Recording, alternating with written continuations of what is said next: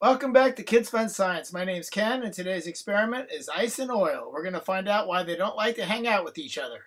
As always, adult supervision is required. What you need for this experiment is a vase or a glass, veggie oil, baby oil, and ice, a couple ice cubes. Start off with a glass or vase and fill it up about halfway full of veggie oil. In this case, I'm using corn oil, just some kind of oil. That's what I had in the cabinet. Uh, once you get it about halfway full, then you're going to take your baby oil, uh, fill another inch or two on the top. I like to tilt the glass uh, so it doesn't mix. I don't have to wait as long uh, for it to separate as the baby oil is less dense than the, the veggie oil. Then carefully place a couple ice cubes, drop them in very carefully, and then we'll start to see the effect. Both oil and ice can be slippery, but that's where the similarity ends. Oil and ice have very little in common. Actually, oil doesn't even like ice, and especially melted ice. You notice the ice cube goes down to the veggie oil layer as it's heavier than the baby oil but lighter than the veggie oil.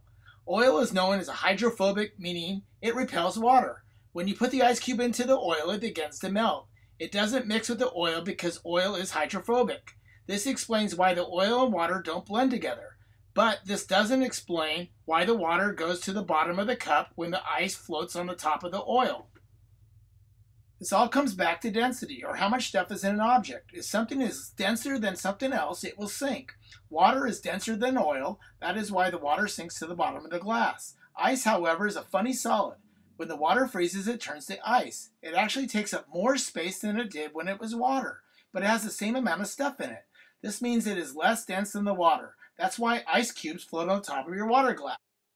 Since the ice is less dense than water and therefore less dense than the oil, it floats on top of the veggie oil.